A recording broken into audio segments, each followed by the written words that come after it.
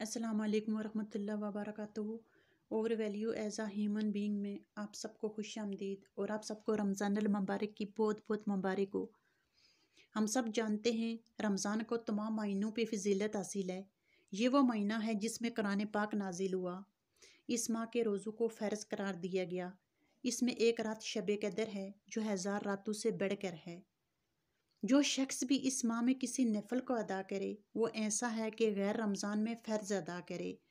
और जो कोई फ़र्ज़ अदा करे, वो ऐसा है कि गैर रमज़ान में सत्तर फ़र्ज़ अदा करे। ये महीना सब्र का महीना है और सब्र का बदला जन्नत है। इस माह में मोमिन का रिस्क बढ़ा दिया जाता है, जो शख्स किसी रोज़ादार को अफ्तारी करवाए। ये उसके गनाहों की माफ़ी और आग से खलासी का सबब है और रोज़ादार के स्वाब की तरह उसको स्वाब मिलेगा। चाहे वह रोज़ादार को एक खजूर या एक घूंट पानी से अफ्तारी करवाए। जो शख्स इस महीने में अपने खादमों और ग़ुलामों का बोझ हल्का करे तो अल्लाह पाक उसकी मफ़रत फरमा देते हैं। इस माह में खूब कसरत से दुआ करनी चाहिए। ये दुआओं की कबूलियत का महीना है। तरावी, तलावत करान ज़िक्र अजकार ज़्यादा से ज़्यादा करने चाहिए। तरावी के साथ साथ रातों को जागना और तजद पढ़ने का ख़ास एहतमाम करना सादत और नेक बख्ती और ज़िंदगी को नेकी से मालामाल करने का बायस है। यह महीना गमख्वारी का है, लोगों की ज़रूरत पूरी करने का महीना है। इसलिए इस माह में कदर, इस माह में ज़्यादा से ज़्यादा सदका व खैरात करना चाहिए। अल्लाह पाक की रज़ा के लिए फ़ुकरा मसाकिन, यतीम बेबगान माजूर और बेसारा अफराद की ज़रूरत पूरी करना, उनकी खबरगिरी करना, जिसके पास लिबास ना हो, उसे कपड़े पहनाना भूखों को खाना खिलाना, बीमारों का इलाज व मालजा।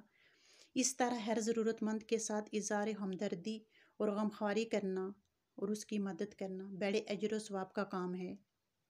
हमें अपने दोस्तों, अहबाब और नेक लोगों की दावत भी करनी चाहिए। इससे प्यार और मोहब्बत में इजाफ़ा होता है और नेक लोगों की दुआएँ हासिल होती हैं और घरों में बरकत होती है। गरीबों की दुआएँ और उनकी महब्बतें हमारे लिए अनमोल ख़जाना हैं। रोज़ा एक डाल है, इसलिए ना तो कोई बुरी बात करे और ना जालत की बात करे। अगर कोई शख्स उसे झगड़ा करे या गाली गलोच करे तो कह दे, मैं रोज़े से हूँ। हज़रत मोहम्मद वसल्लम का फरमान है, कसम है उस ज़ात की, जिसके कब्ज़े में मेरी जान है, कि रोज़ादार के मुँह की बू अल्लाह के नज़दीक मुश्क की खुशबू से बेहतर है। वह अपना खाना पीना और अपनी मरगूब चीज़ों को रोज़ों की खातर छोड़ देता है। इसलिए इसका बदला अल्लाह ताला देता है, और नेकी दस गुना मिलती है। हमें रोज़ों में ज़्यादा से ज़्यादा अच्छे काम करने चाहिए, नेकी के काम करने चाहिए, बुरे कामों से इजतनाब करना चाहिए, और ये कोशिश करनी चाहिए कि हमारा हर लम्हा स्वाब, अजर स्वाब में गुज़रे।